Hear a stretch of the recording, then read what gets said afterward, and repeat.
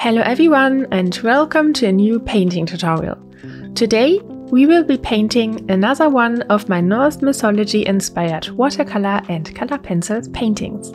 This one is inspired by a Germanic pagan goddess named Baduhenna from the 1st century CE, who is theorized to be a battle goddess. I gave her a shiny metal helmet to accentuate her role as a warrior.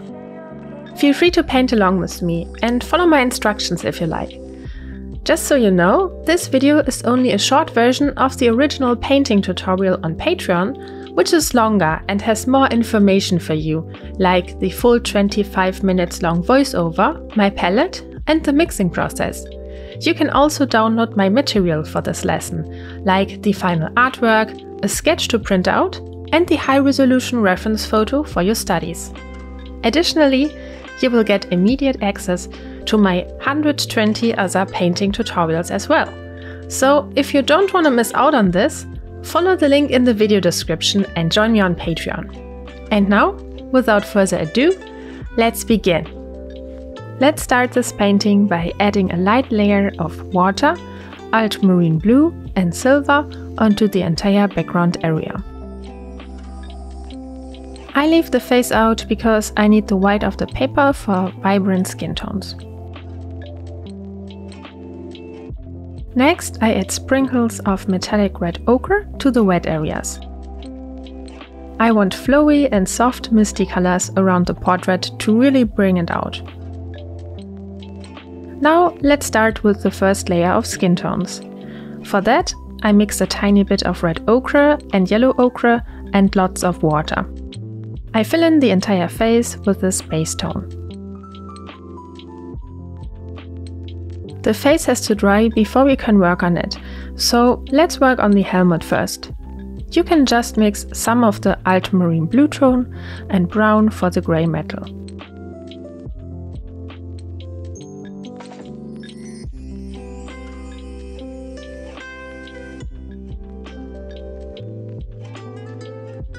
While the helmet has to dry, let's focus on the face again.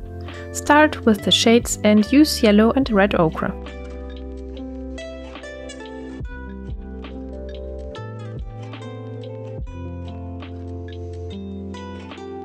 For the lips, I mix a light red tone with crimson and gamboge.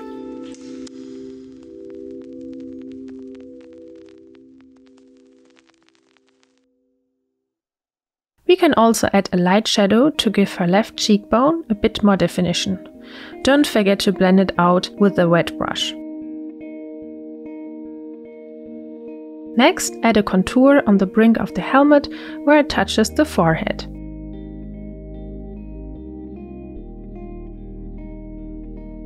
Now, where we have this dark shade on the brush anyways, we can use it to paint in the irises. Pay attention to symmetry. No one wants uneven eyes. I jump back to the helmet again and continue to work on the shadows. Although we've added lots of contours, we still need larger shadow areas to create depth. Do you see how nicely these shadows work together with the contours? They make a huge difference. Be careful to leave the highlights out and don't accidentally paint over them. Now let's paint the hair. I mix grey, metallic ochre, silver, water and the blue that I have on my palette for a light first layer. Then I picked up a bit of metallic green and metallic red ochre to add some more splashes and effects to the piece. I felt there was still something missing with the piece, and I decided that it was neon pink. I had applied it in earlier works and in small doses it can look very beautiful. So I courageously added some splashes of neon pink to my painting. And a little bit more. And after I dried the painting with the hairdryer, I could finally start the color pencil process. I begin with Caput Mortuum to refine her eyelids.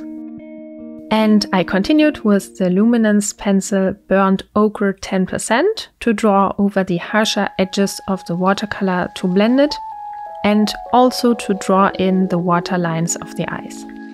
Then I added a pink shade to the makeup to accompany the neon pink that I added earlier.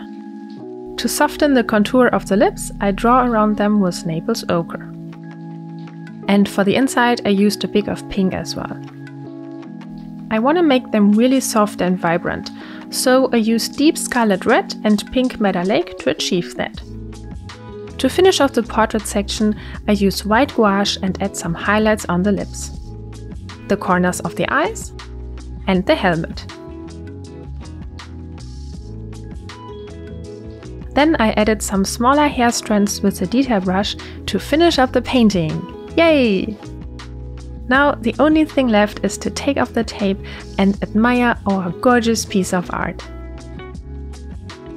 And now the portrait is finally finished! Yay! I hope you could learn something new today. And now I have a question for you. Which type of video or tutorial do you want me to do next? Let me know in the comment section.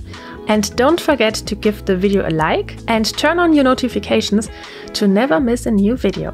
Have a wonderful painting day. Bye bye!